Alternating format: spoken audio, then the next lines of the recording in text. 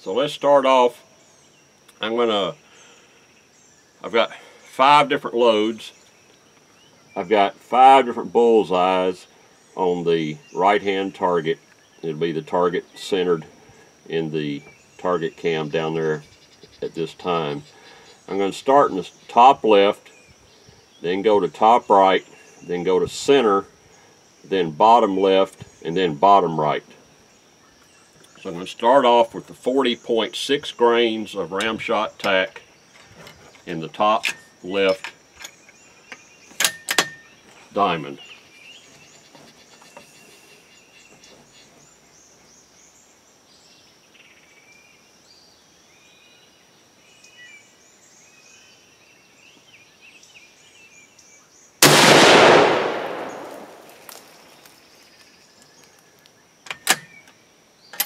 Okay, that was 24.96.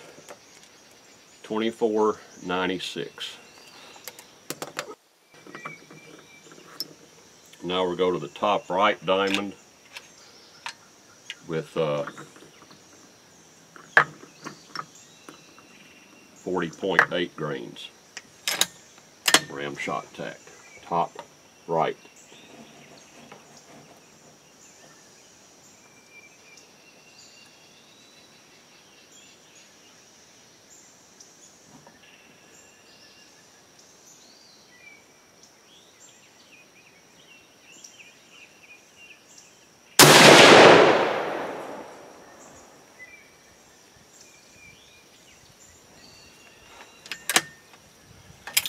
That speed was 2479. 2479. And that was more powder, but it was slower than the first shot. Now we'll go to 41.0 grains. And this will be in the center diamond. 41.0 grains Ramshot TAC.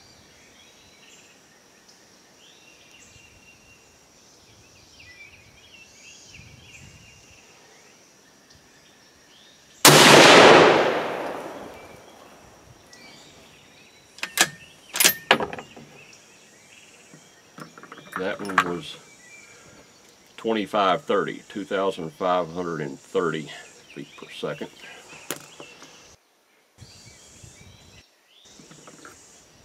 Now we'll go to 41.2 grains. This will be the lower left diamond.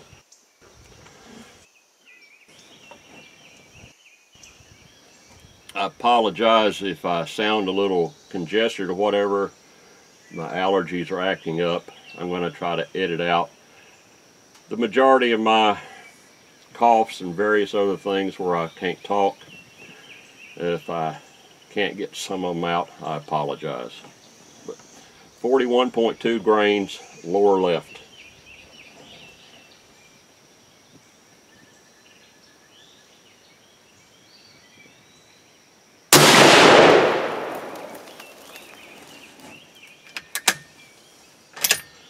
That one was 25, 45. 25, 45. 25, 45. Now we're going to go to 41.4 grains. This will be the lower right diamond.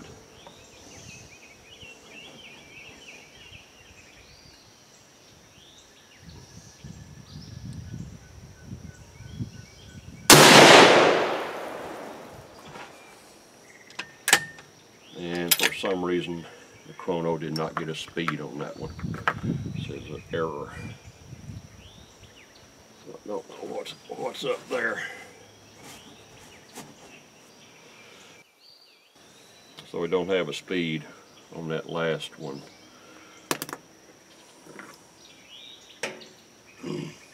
Go back to 40.6 grains and we'll be shooting at the top left diamond.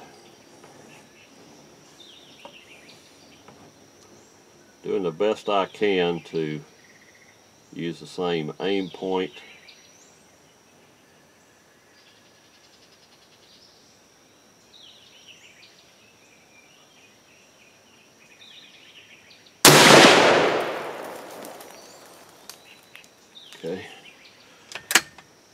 That speed was 2465. 2465, so that's uh, 30 feet per second slower than the first one. And this is what I've experienced with this powder is it is not consistent. Uh, I, I try to take great care in weighing out my charges. In fact, I use two different scales. I start out with a manual scale to get it as close as I can there and then put it in a digital scale and uh, tweak it to the right weight there before I, I throw the charge. But uh, that, that seems to be just uh, the nature of this powder. I don't have that same issue with Varget or with the Shooter's World Precision Rifle. But we're going to try 40.8 this will be the top right diamond. 40.8.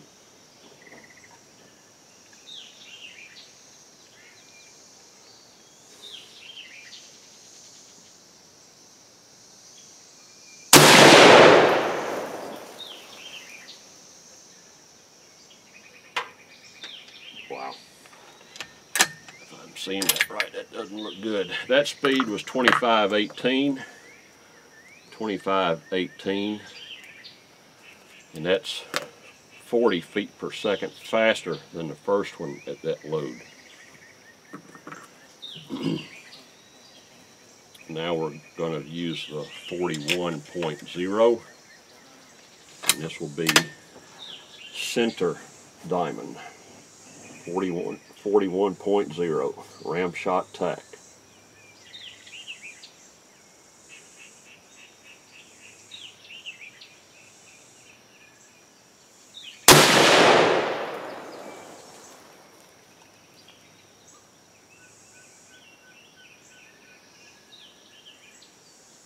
I think it's almost touching the first shot.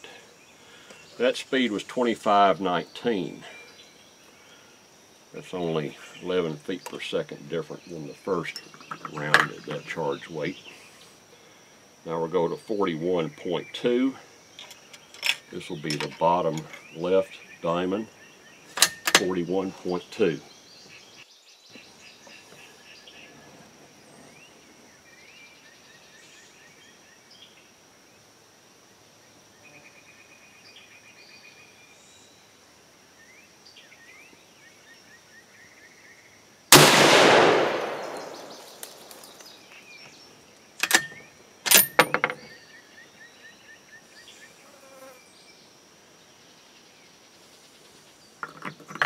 That speed was 2568. 2568, which is 23 feet per second faster than the first one. And this is charge of 41.4 Ramshot TAC. This will be the bottom right target diamond.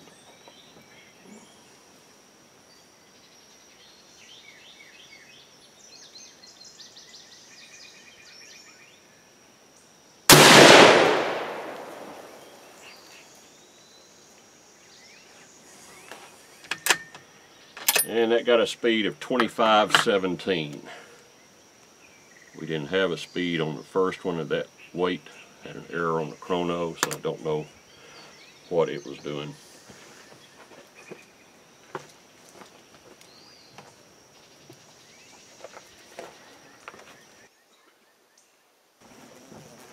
Go back down to 40.6 be the top left diamond, 40.6.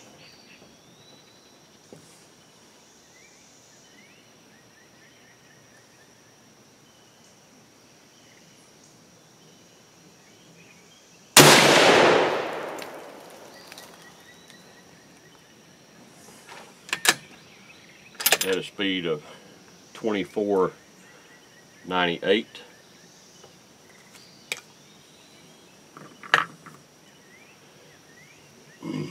think I saw it touching, uh, no,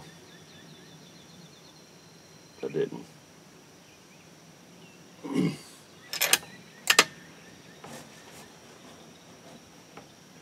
All right, so this one is the uh, 40.8. This will be the top right diamond, 40.8.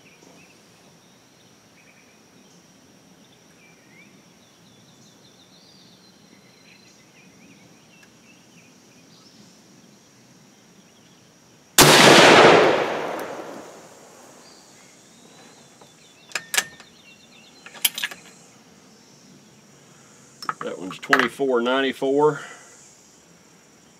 That one's a little slower than the one I just shot. Even though it had 0.2 grains more powder. So now we'll shoot 41 grains. This will be the center diamond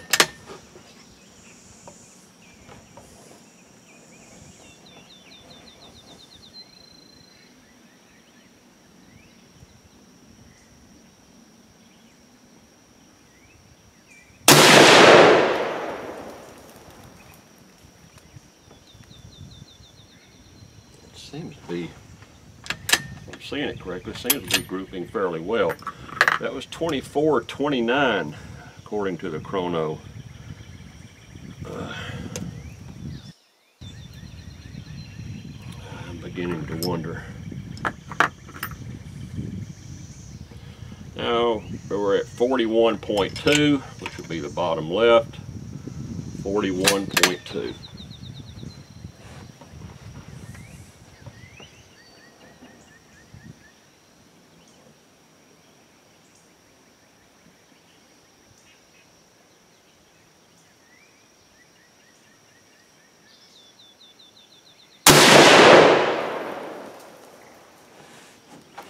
That one's not too badly. Got one flyer, the other two are side by side. That speed was 25-25.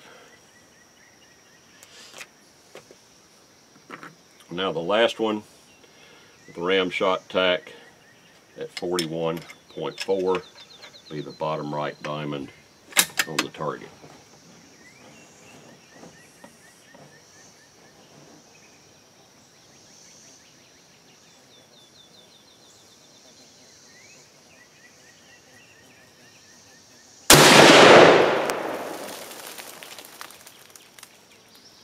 Okay. And that speed was 2488.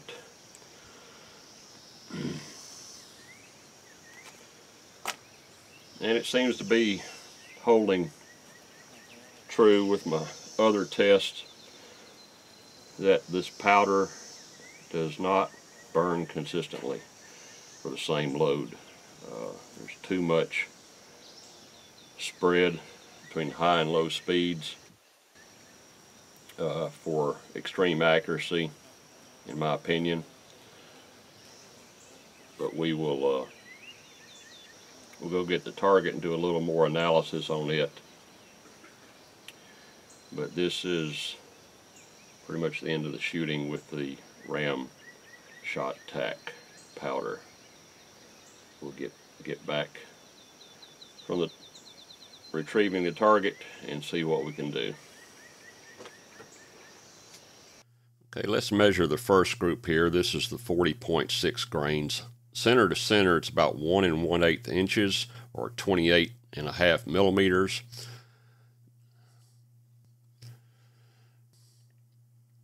The second group, this is a two and a half inch group. This is 63 and a half millimeters or two and a half inches. Go on down to the third group, which is the 41 0.0 grains of Ramshot TAC. And here the rifle seems to like this load. This is a three quarter inch or 19 millimeter group, which is a very, very good group. That's, you know, less than one MOA. uh, three quarters of an MOA. So that, that's a good grouping there. Get on down to the, the fourth group. This is a one inch group center to center at 25 millimeters. And the fifth group is the 41.4 grains, and that is 1 and 3 eighths inches center to center or 35 millimeters. This particular load seems to favor the 41 to 41.2 grains. And uh, with the one flyer on the 41.2 grains, and I could have pulled that, I don't know, but uh, still, that's that's a very consistent grouping. But uh, the the powder itself is just seems these loads are all over the place. These are not consistent with my other groupings that I've done with other powders. I don't think it's me, uh, but uh, we're going to go back to the bench and calculate the standard deviation and the extreme spread for these. But this powder just doesn't group like Varget or the Shooter's World Precision Rifle does for me. We'll summarize that when we get back to the bench. Okay, we're back at the bench now. Done some analysis on the results from our shooting test. For the 40.6 grain load, we had an average speed of 2486 feet per second with a standard deviation of 18.5 and an extreme spread of 33 feet per second. For the 40.8 grain load, we had an average speed of 2497 feet per second with a standard deviation of 19.67 and an extreme spread of 39 feet per second.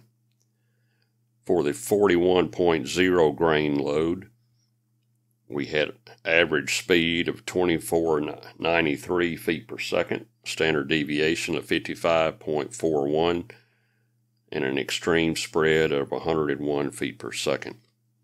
For the 41.2 grain load, we had an average speed of 2546 with a standard deviation of 21.52 and an extreme spread of 43 feet per second for the 41.4 grain load, we, we had an average speed of 2503 feet per second with a standard deviation of 20.51 and an extreme spread of 29 feet per second.